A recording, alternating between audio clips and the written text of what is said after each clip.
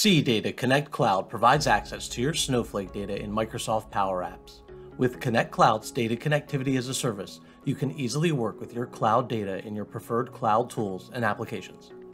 Let's say I want to access data in Power Apps, but the relevant data is in Snowflake.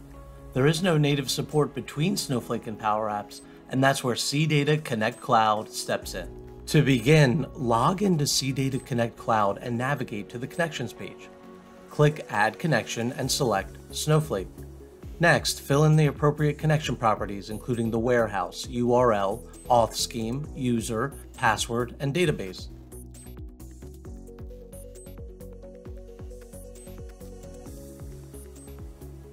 Click Create and Test to ensure the connection is configured properly.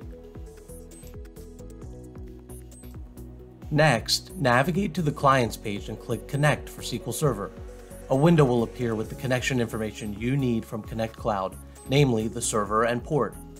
You can then create a new Personal Access Token or PAT or use an existing one. Next, log into Power Apps. Click the SQL tile to build an app using a connection to Connect Cloud. On the next screen, click New Connection, then select SQL Server.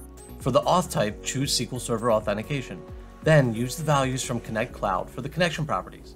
First, enter the host and port for the SQL Server name, as found previously in Connect Cloud. Then enter the database name we just created.